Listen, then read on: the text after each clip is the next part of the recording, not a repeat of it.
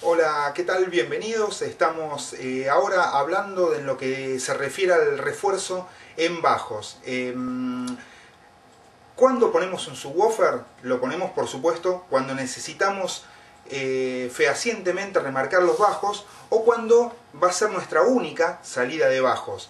Si va a ser nuestra única salida de bajos, estamos con un crossover. Si no contamos con un crossover, podemos estar manejando un sistema en estéreo full range, es decir, con dos parlantes para eh, bajos y agudos y aparte de ese sistema podemos llegar a proporcionar un refuerzo en bajos con una segunda potencia ubicándolo un subwoofer o dos subwoofers dependiendo de lo que querramos hacer.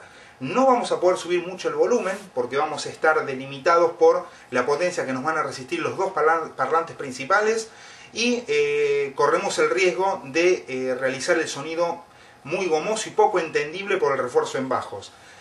¿De dónde se suele realizar ese refuerzo en bajos? Es de la salida de, su, subwoofer que nos ofrece el ecualizador. Vamos a ver entonces cómo es el conexionado para poder manejar dos sistemas principales eh, en estéreo con todas las frecuencias, es decir, en rango extendido, full range, y aparte un subwoofer, por supuesto, con un volumen independiente.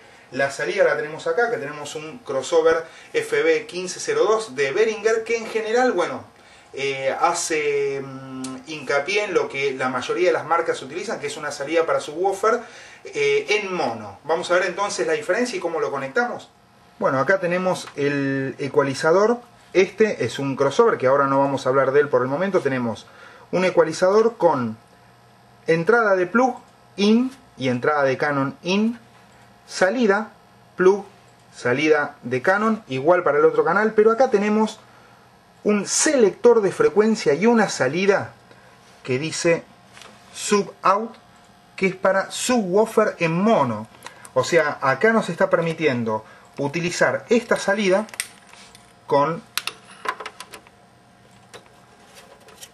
un Canon que en general la salida de mono de subwoofer nos permite realzar en bajos un sistema en estéreo sin utilizar crossover. Hay un crossover interno dentro del ecualizador.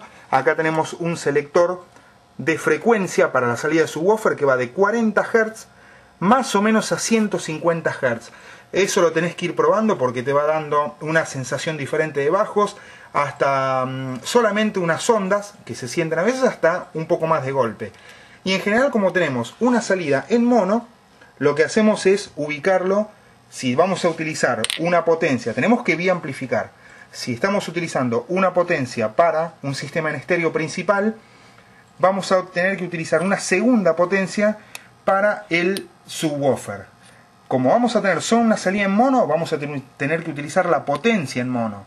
Es decir que ya vamos a ponerla en paralelo o en mono. Si no contamos con función paralelo, vamos a tener que ponerla en puente. Eh, ya de por sí es una exigencia que va a ser bastante acentuada para la potencia. Después vamos a ver un poco qué es lo que ocurre cuando la potencia trabaja puenteada, que no todas las potencias lo resisten. Pero con esta salida en mono tenemos que entrar. Si es con función paralelo la potencia, vamos a entrar solo en el canal 1 y vamos a tener salidas en los dos eh, salidas de baffle pero nosotros con el subwoofer vamos a trabajar solo en uno.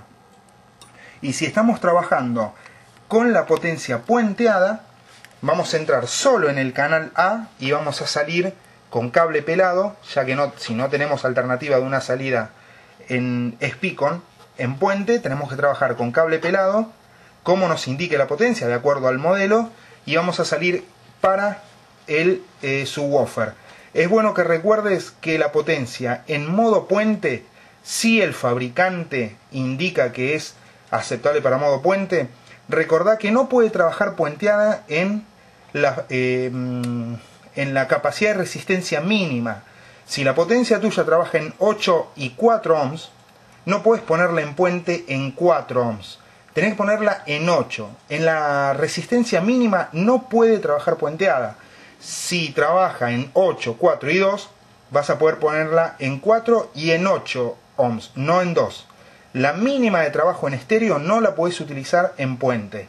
Eso es bueno porque podés recalentar con la consecuencia eh, quema de la etapa de amplificación. Entonces la mm, salida mono del subwoofer únicamente para un refuerzo en graves. Vamos seleccionando entonces la mm, frecuencia de trabajo del subwoofer y manejamos el volumen independiente con la potencia. Así que bueno, nos vemos la próxima.